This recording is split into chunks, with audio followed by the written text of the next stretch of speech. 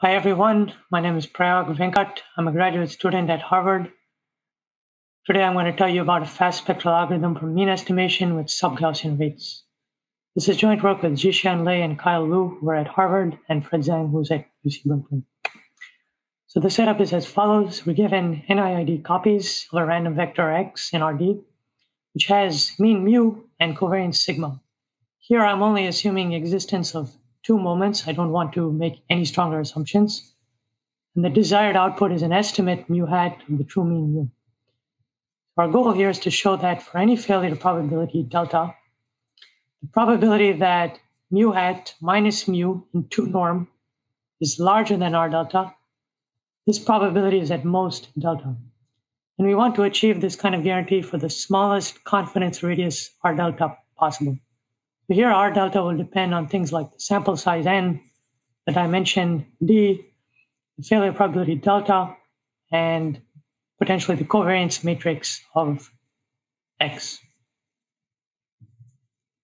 So a very natural question is why not just take the empirical mean? That is, we just average the n samples as our estimate. So if we make the strong assumption that original random vector x is multivariate Gaussian with mean mu covariance sigma, and it can be shown that with probability at least 1 minus delta, the radius achieved by the empirical mean is displayed as follows. It involves a 1 over square root of n rate broken up into two terms. The first is a dimension dependent term, which involves a trace of sigma, the covariance matrix. It's a second term, which is sort of dimension independent, which only involves the operator norm of, of the covariance matrix sigma and log 1 over the failure probability. So it can be shown that this rate is optimal up to constants. And throughout this talk, I'm going to define this radius to be what the sub-Gaussian radius or the sub-Gaussian rate. And an estimator which achieves this kind of performance will be said to uh, achieve sub-Gaussian performance. So one issue here is that this Gaussianity assumption is very strong. So we'd like to somehow relax it. In particular, we'd like to relax it all the way down to only an assumption on the existence of two moments. So if we only make this weaker assumption, this weaker heavy-tailed, potentially heavy-tailed assumption, then by Chebyshev's inequality, one can show that the empirical mean will only achieve this weaker radius displayed at the bottom. So here it's the dependence is exponentially worse in terms of 1 over delta. And the dimension dependent part, the trace sigma part, is multiplying the delta part.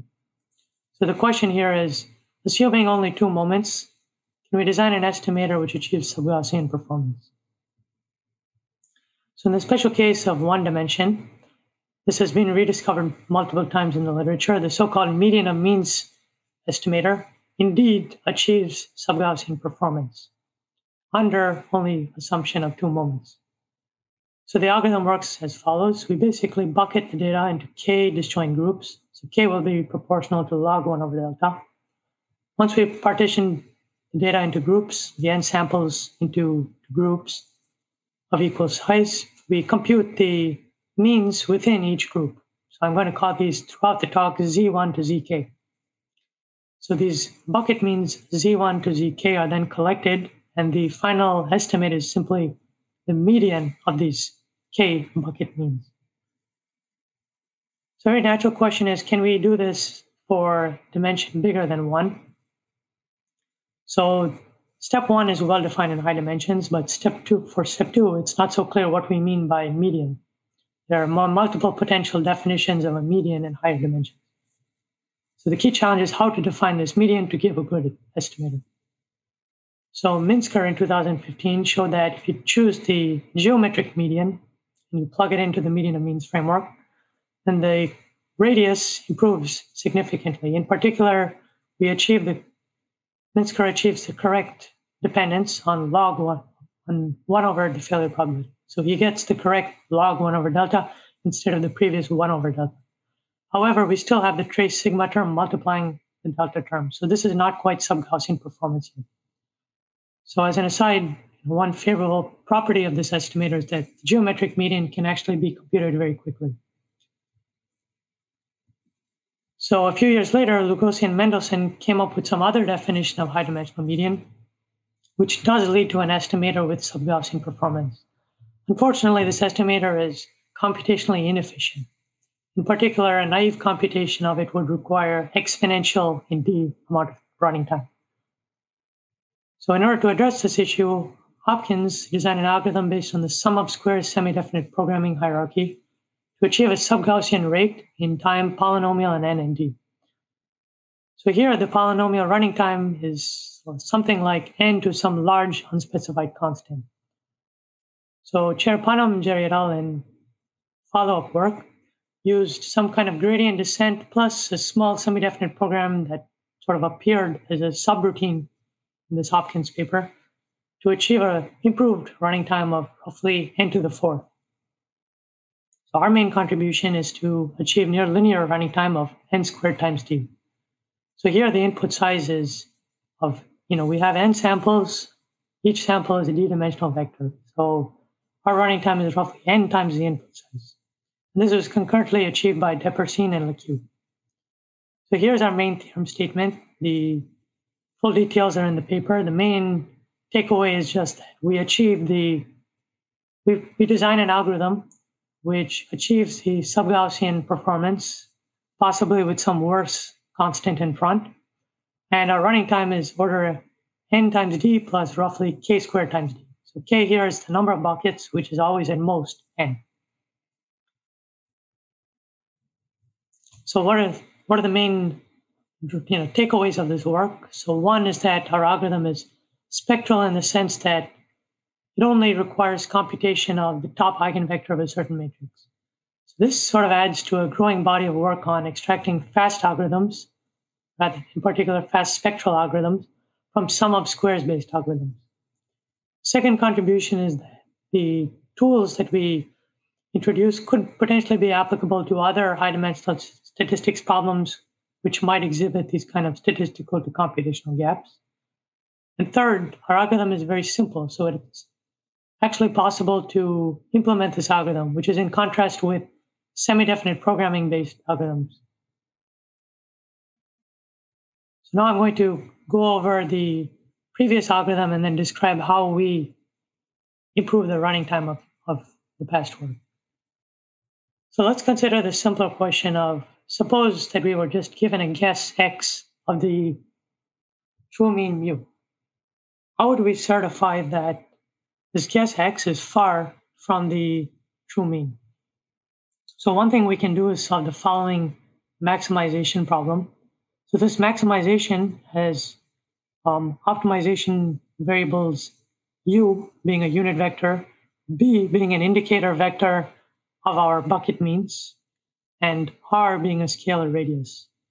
So here, this optimization problem is searching for a unit direction u so that along the direction u when I project the bucket means zi, and I project my guess x. The guess x is far away from 90% of the bucket means along the direction u. And by far away, we, we quantify it by this variable r. So it's not clear that we can solve this efficiently, but suppose for a moment that we could solve this problem. We can then turn this into a full algorithm as follows. We'll iteratively update our solution. So we'll start with a guess, an initial guess x1. We update it to x2, x3, and so on. At each iteration t, we're going to solve this inner maximization problem to get a radius rt and a unit vector ut. And we're going to basically take a gradient step in that direction. So how do we analyze this, this algorithm? Cherapanamjeri et al. showed that basically this unit vector ut, it's correlated with the direction of mu minus xt. This is exactly the direction that tells us how to improve our guess. So mu, to, in some sense, ut is a noisy estimate of this direction in which we want to move. And this radius rt can be shown to be a good estimate of the distance from our guess xt to the true mean mu. So then the analysis proceeds by casework. So if our guess xt is close to mu, and we're done, we can just check this by looking at the value of RT. On the other hand, if xt is very far away from the true mean, then it can be shown that the distance between mu and xt plus 1 is a constant factor smaller, constant multiplicative factor smaller than the distance between mu and xt. So if we iterate this procedure a few times, then xt will converge to mu at a geometric rate. Moreover, they show that you can replace this inner maximization problem by its semi-definite programming relaxation. This is something which can be solved in polynomial time, and the same sort of analysis carries through. So in order to get a faster algorithm, our main contribution is to show how to do without this semi-definite program. In particular, we'll desi- design essentially an direct approximate solver for this inner maximization problem. So our main step is to simplify the problem to this simplify the inner maximization problem to what's called the furthest hyperplane problem. So in this problem, which was studied by Karnin et al. in 2012 in a different context, we're basically given k points, c1 to zk, and we want to search for a separating hyperplane U, which is a unit vector, which has large margin theta for all of the points z1 to zk. So that's represented here by this optimization problem. So we show that it suffices to, to design a bicriteria approximation algorithm for the simpler problem. So by bicriteria approximation algorithm, I mean an algorithm which produces an approximate solution in two senses. One, it does not achieve the optimal theta. Rather, rather, it only produces a solution which achieves a theta, something smaller than theta by a constant multiplicative factor. And the second sense in which it's approximate is that we don't require it to produce a completely feasible solution. Rather, we only require that it produces a solution which satisfies a constant fraction of these k constraints. Now I'm going to discuss how do we actually solve this furthest hyperplane problem. So in our particular application, unfortunately, this furthest hyperplane instance problem, this furthest hyperplane problem instance may not actually admit a feasible solution to begin with. So this immediately breaks the algorithm of Karnin et al. So this is where we have to introduce some new ideas. So we can only show that there exists a solution, theta star u star, which satisfies 90% of the constraints. So using this um, under this much weaker assumption, we we're able to design a multiplicative weights update style algorithm, which iteratively will find a bicriteria approximate solution. So it turns out that we're able to rely on some existing machinery um, due to Barak et al. and Arora et al.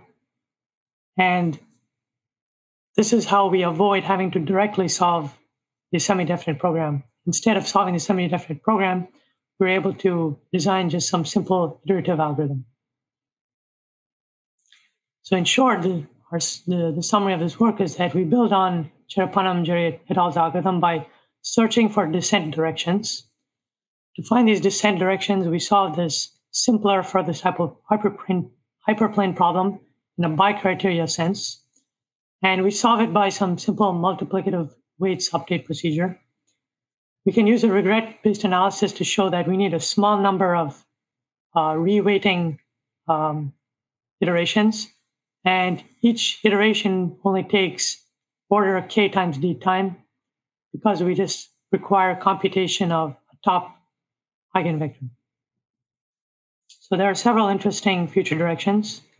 One is to study the problem of covariance estimation under heavy tails. Uh, the second interesting question is to actually implement our algorithm and see what kind of you know, practical implications there are. And finally, it would be of interest to study whether these algorithms are relevant for other classical statistical problems under more modern constraints. Thank you and I'm happy to take any questions offline.